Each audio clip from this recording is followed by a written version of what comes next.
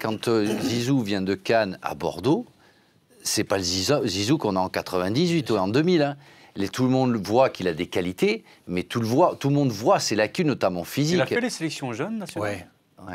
Ouais, il a fait les sélections. Non, mais le Zidane que l'on connaît maintenant, c'est pas du tout le même. Même, euh, même à la- peut-être à l'âge de ce gamin. Alors Zizou, il a commencé, il a fait son premier match aussi en, en pro. Il a- il devait avoir euh, 17 ans et demi, un truc comme ça.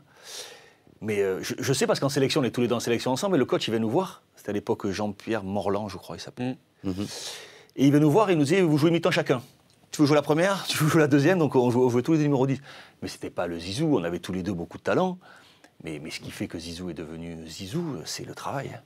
Sincèrement. Il, a, il avait quelque chose de différent des autres, comme peut-être le petit, euh, La répétition le petit actuellement. Mais, mais, mais c'est, le travail. Ne crois surtout pas, Sarah, Qu'il est né que, comme ça. que Zidane, euh, c'était Messi, quoi.